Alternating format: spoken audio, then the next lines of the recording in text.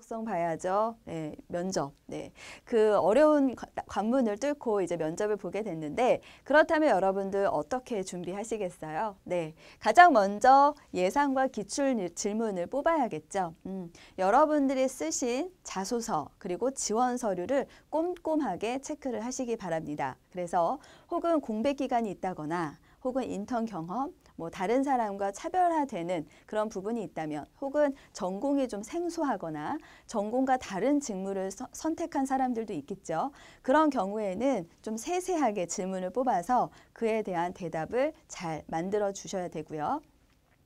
그리고 전혀 나는 음, 어떤 질문이 나올지 모르겠다 그러시면 우리 어, 인터넷 검색을 통해서 많은 정보들이 있기 때문에 그런 정보를 또 활용하시고 가장 중요한 건 기출이라고 떠도는 것보다는 여러분들이 면접관이라면 이 업계에 대한 트렌드, 업계에 대한 관심도를 굉장히 잘 갖고 있는 사람을 당연히 뽑을 겁니다. 그래서 최근에 이슈가 되고 있는 어, 이슈들이 굉장히 많이 있죠. 뭐 1인 가구라든지 여러 가지들 이 있는데 그러한 것들을 우리 업 체 혹은 우리 직종 어, 그리고 이 업계에서 어떻게 어, 해결해야 되는지 이런 아이디어적인 것도 어, 충분히 기출이 될 수 있으니까요. 그렇게 좀 폭넓게 준비를 하시고요.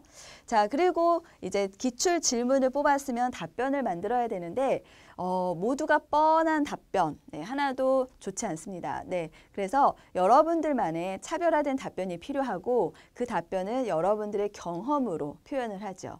사실 면접 장 가면 옆에 있는 지원자도 성실하고요. 여기 있는 지원자도 성실합니다. 좋은 얘기 하러 가는 거니까요. 그래서 성실, 뭐 책임, 꿈꾸, 뭐 팀워크 이런 역량을 다 얘기를 하는데 내가 어느 정도로 그런지 그러면 그것을 뒷받침하는 근거가 나만의 경험에서 나와야겠죠.